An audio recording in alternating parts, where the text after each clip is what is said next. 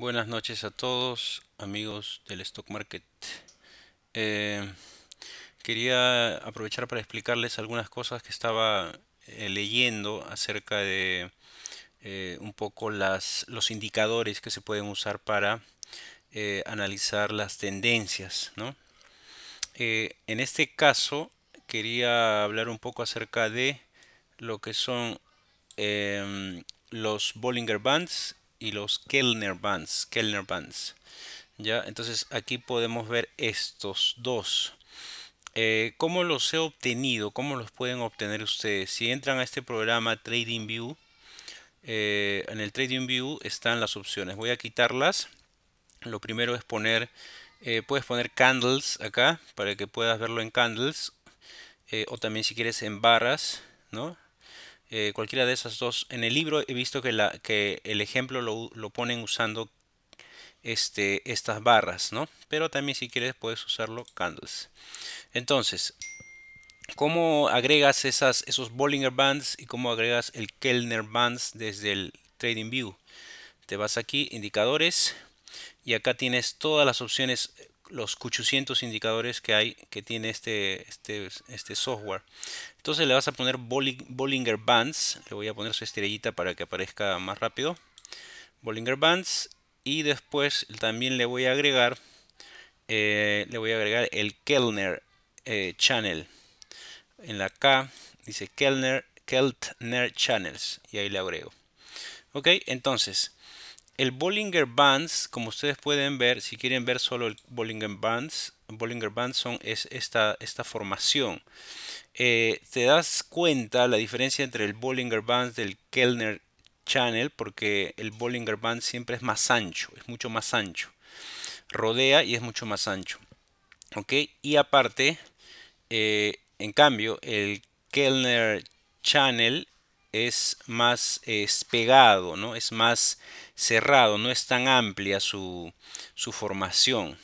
Entonces, en este libro que estoy leyendo hay eh, una explicación de cómo usar de manera combinada los dos indicadores, eh, los Bollinger Bands y los Kellner Bands. Muy interesante porque este, realmente te da información, eh, ya estás combinando dos indicadores, eso es muy interesante. ¿Y cuál es la explicación que da el libro?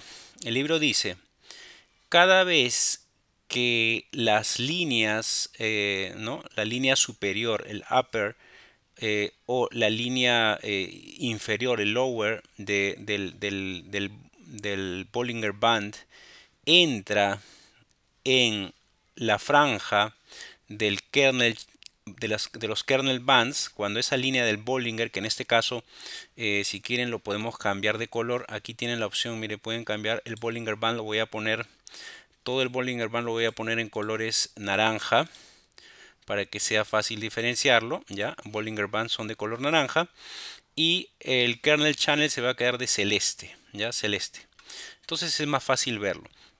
Cada vez que el Bollinger Band, la línea superior o la línea inferior, eh, cruce o entre dentro del kernel de las kernel bands que son las celestes, entonces el, libro te dice que eh, es muy probable que surja una, un cambio de tendencia, un cambio de tendencia fuerte, ¿ya? Entonces, si la línea del Bollinger Band rompe o cruza la franja del kernel channel o del kernel bands desde en la parte de abajo, ¿no? en, el, en la parte lower, en, lower, en la línea lower, entonces eh, la tendencia eh, va a ser a que el, el, el, cambio, el cambio de tendencia va a ser hacia abajo. Y si eh, la línea superior es la que cruza el kernel channel, entonces la tendencia va a ser de un cambio hacia arriba. Ahora, tiene que ser una, eh, digamos, eh, la entrada de la línea, el, paso de la línea del Bollinger Band tiene que ser más evidente, tiene que ser consistente. Por ejemplo, el, el, el, de acá no es una entrada muy consistente, es muy leve, simplemente está rozando eh, la línea inferior del Bollinger Band, está levemente entrando en el kernel channel. Entonces esto de aquí no, no vale. no podemos considerarlo como importante. Y acá arriba tampoco. Pero hay otros casos muy buenos de cómo estas dos cosas, estos dos indicadores combinados funcionan bien. Por ejemplo, aquí, si ustedes ven aquí, eh, se ve claramente que la línea eh, naranja, medio amarilla, esta línea del Bollinger Band, la línea inferior del Bollinger Band, ha entrado, ha, pasado una buena distancia de la franja del kernel, de la banda del kernel, la ha pasado, ¿no es cierto? Y casi acercándose al centro. Y cuando esto pasa, lo que te dice el, libro, lo que te, explica, es que lo más probable es que haya una caída en la tendencia, que, la, que, que el precio de la, de la, acción o la tendencia del índice en este caso decaiga, ¿no?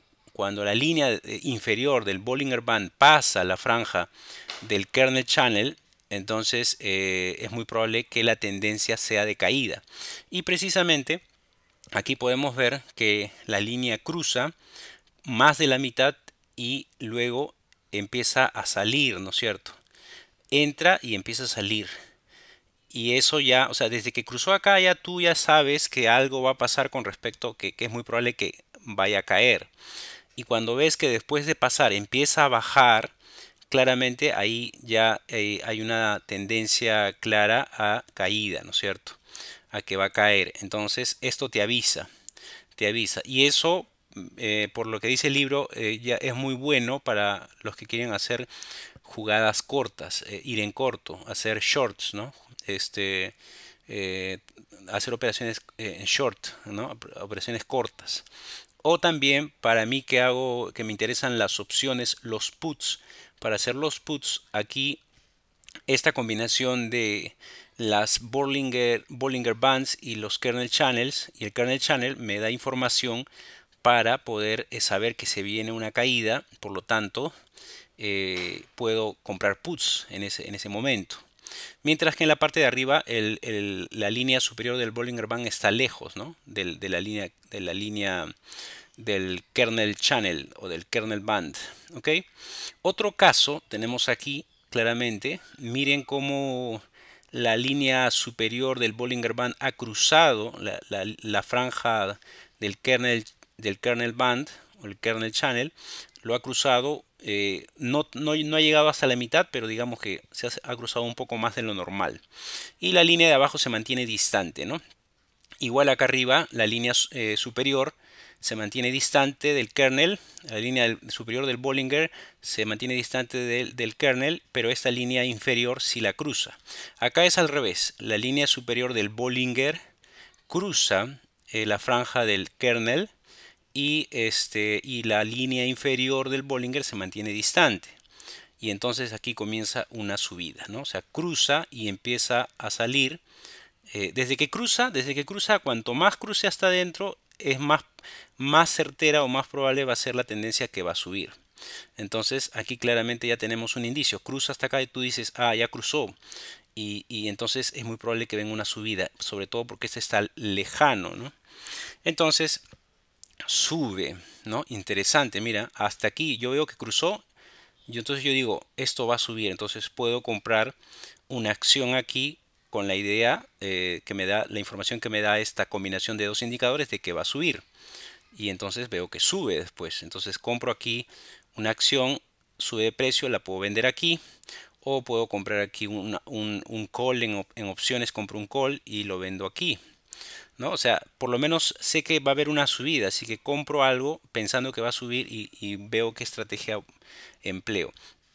Otro caso aquí, por ejemplo, vemos que la línea inferior del Bollinger Band cruza, cruza la, eh, cruza, o sea, entra en la franja del kernel channel, ¿no? Y este también ha pasado más de la mitad, ¿no? Un poquito más de la mitad de la franja, de la mitad inferior, digamos, del kernel channel. Entonces de ahí, eh, una vez que cruza, tú ya tienes la información, sabes por teoría que es muy probable que venga una caída porque ha cruzado en la parte de abajo y la parte de arriba se mantiene distante. Pues genial, ¿no? Empieza a caer, empieza a caer, cae, cae, cae y se cumple la tendencia de caída. Solamente te sirve esto para este momento. el momentum de, esta, de esta, o sea, estos dos indicadores te, te, sirven para predecir esto, esta parte de aquí. De aquí para allá ya es otra historia, ¿no? Pero hay una subida. En este caso sube, en este caso bajo, baja dependiendo de qué lado de la franja del kernel channel es eh, atravesada por la línea del Bollinger Band. Esto me parece muy interesante. Ese libro es muy bueno y miren, este indicador es sumamente interesante. Y si vemos eh, la tendencia, la última tendencia respecto al índice de Standard Poor's, podemos ver que ahorita eh, no hay cruce, ¿no? no ha cruzado. Acá, mira, aquí cruzó. ¿no?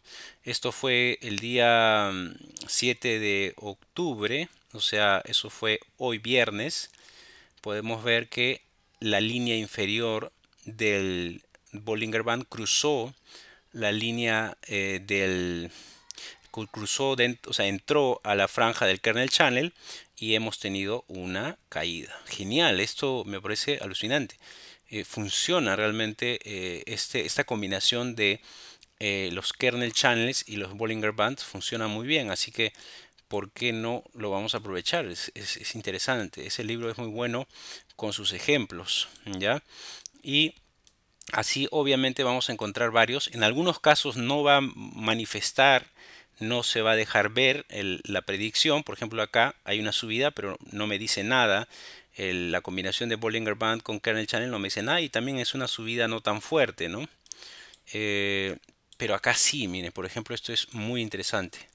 Acá sí claramente puedes ver cómo cruza. Miren, miren, esto es interesante porque el kernel channel, la línea del kernel se achica bastante, se, se, se hace una... Eso es lo que decía el libro también. Cuando el kernel channel se comprime, ¿no? Se comprime, la, distancia es más corta de, en esta franja del kernel channel.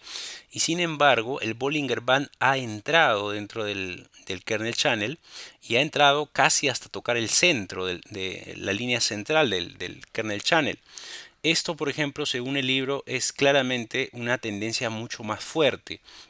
Mucho más fuerte que cuando la franja del, del kernel es más amplia. Ya, a ver, vamos a cargar otra vez a veces pasa esto se va se va el sistema se va la red vamos a regresar que cargue todo ya. Ok entonces estamos en esta interesante caída que vimos aquí. Aquí sí pues no vamos a borrar esto no lo necesitamos. Aquí sí claramente se, se comprime la, la franja del kernel channel el Bollinger Band pasa esa franja por la parte inferior y llega casi a tocar el centro. Esto sí ya es mucho más fuerte. Son, hay que tener en cuenta hay dos cosas. La, se comprime, el que se comprima la, la franja del kernel channel y la línea del Bollinger Band inferior cruza hasta muy arriba. Entonces, cuando esto pasa, tú ya tienes ahí la información de que la caída puede ser mucho más larga de lo usual, ¿no? Mucho más larga de usual y podemos ver que realmente la caída que siguió es muy larga. Estamos hablando del 23 de septiembre hasta la caída del 26 de septiembre. ¿no? Es larga dentro de, lo que estamos analizando. Estamos viendo la tendencia a una hora.